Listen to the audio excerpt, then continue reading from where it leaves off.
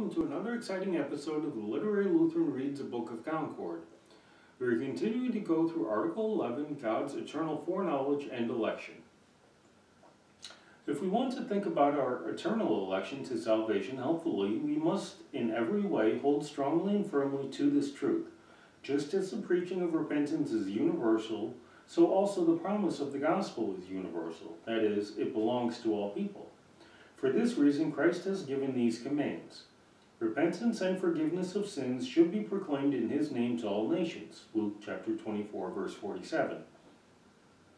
For God so loved the world that he gave his only Son. John chapter 3, verse 16. Behold, the Lamb of God who takes away the sin of the world. John chapter 1, verse 29. The bread that I will give for the life of the world is my flesh. John chapter 6, verse 51. The blood of Jesus, his son, cleanses us from all sin. 1 John chapter 1, verse 7.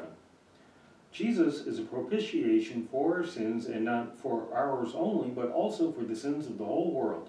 1 John chapter 2, verse 2. Come to me, all who labor and are heavy laden, and I will give you rest. Matthew chapter 11, verse 28. For God has consigned all to disobedience, that he may have mercy on all. Romans chapter 11, verse 32 not wishing that any should perish, but that all should reach repentance. 2 Peter chapter 3, verse 9. The same Lord is Lord of all, bestowing his riches on all who call on him. Romans chapter 10, verse 12. The righteousness of God through faith in Jesus Christ is for all who believe. Romans chapter 3, verse 22.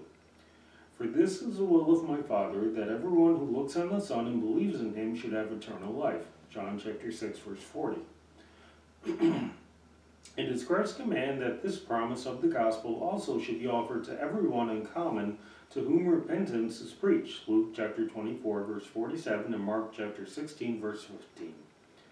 We should not think of this call of God, which is made through the preaching of the word, as a juggler's act, but we should know that God reveals his will by this call.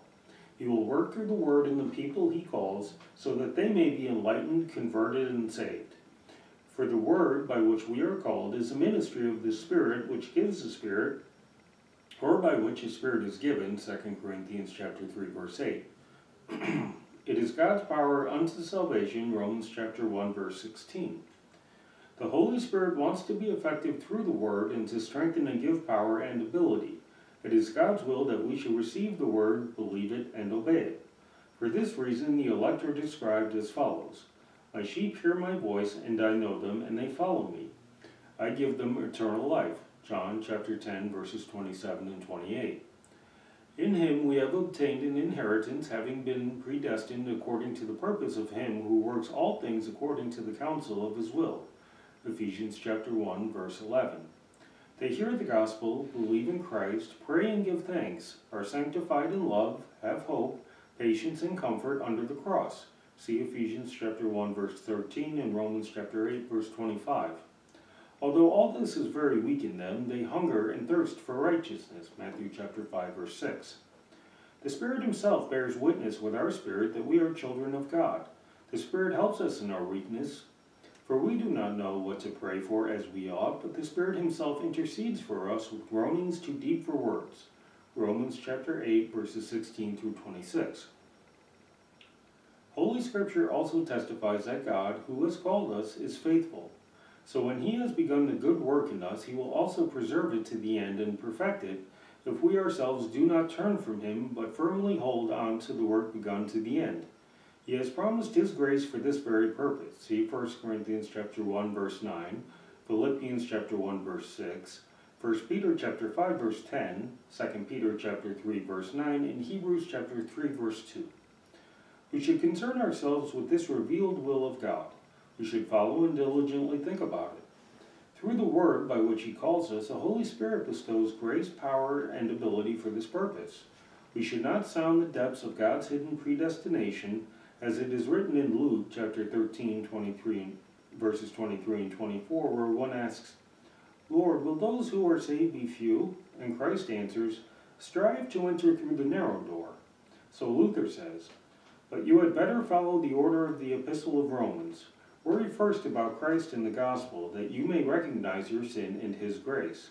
Then fight your sin, as the first eight chapters here have taught. Then, when you have reached the eighth chapter and are under the cross and suffering, this will teach you correctly of predestination in chapters 9, 10, and 11, and how comforting it is. Preface to the Epistle of St. Paul to the Romans, 1546. Many are called, but few are chosen, Matthew chapter 22, verse 14. This does not stem from the fact that God's call, which is made through the Word, has the following meaning. It is not as though God said, Outwardly, through the Word, I indeed call all of you to my kingdom, everyone to whom I give my word. However, in my heart I do not mean this for everyone, but only for a few.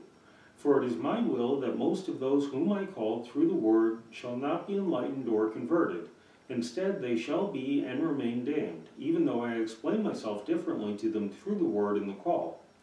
For this would be to assign contradictory wills to God.